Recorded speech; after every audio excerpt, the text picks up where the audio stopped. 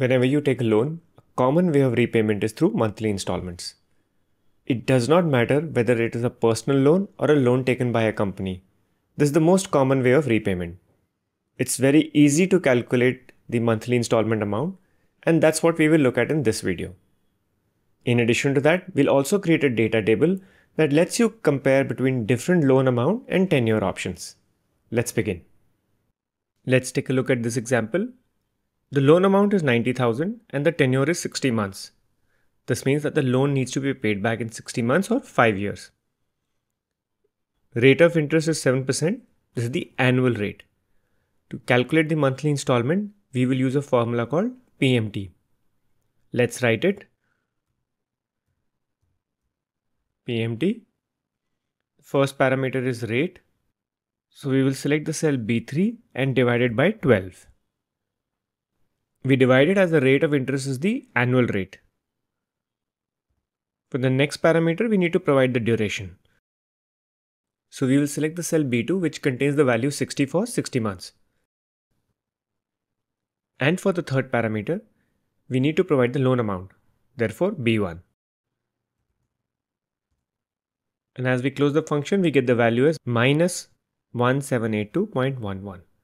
The value is negative as we need to pay this amount. So the PMT formula tells us that if you want to pay off the loan of 90,000 and the interest of 7% over a period of 5 years, then we need to pay 1782.11 every month.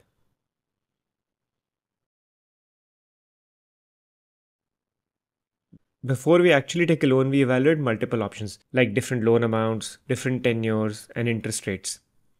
And at times, we want to see what will be the monthly outflow for each combination of amount and time you take to repay the loan. Calculating the amount of each combination can be frustrating. However, Excel provides a utility called data tables. Let's see how we can use that. Let me unhide these rows for you. I have this table here where I have different loan amounts and different durations.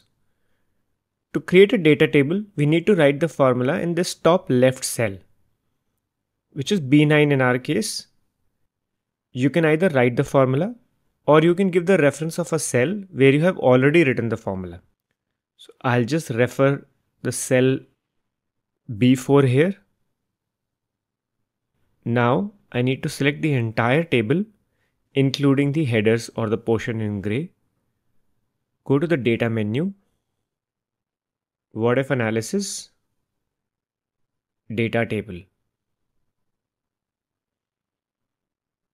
It asks for two inputs, row input cell and column input cell. In the row input, we will provide the value B2, which contains the value 60. In our data table, we have the loan amount values in rows, so we will provide the additional input of months. Similarly, we will provide the value B1 in the column input cell. We provide the loan amount details as the duration details is already present in the columns of the table that we are creating. Press OK and we get the answer. You can see as the loan amount increases, for the same time period, the monthly payment also increases. And similarly, as the tenure increases, for the same loan amount, the monthly installments decrease. Now this method is useful if you have Excel 2019 or earlier. It works with Excel 2021 and Excel 365 too. But if you have these versions, then you can also use dynamic arrays to get the same result. Let's take a look. I'm going to clear the content in fact, we don't even need this with dynamic arrays. I will write the formula in cell C10.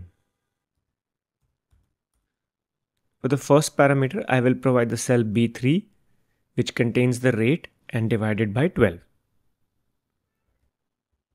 For the next parameter, instead of providing one duration, I will provide all the durations from C9 to G9.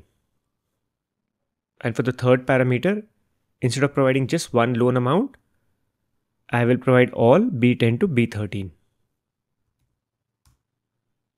And I get the result. You can use any of the two methods based on which one you find easier. If dynamic arrays is new to you, then I will leave a link of a few videos in the description for you to see. If you have not used dynamic arrays, then you must see those videos immediately as they will change the way you work in Excel. If you like our content, then please consider subscribing to our channel. It makes a big difference to us. Thanks for watching.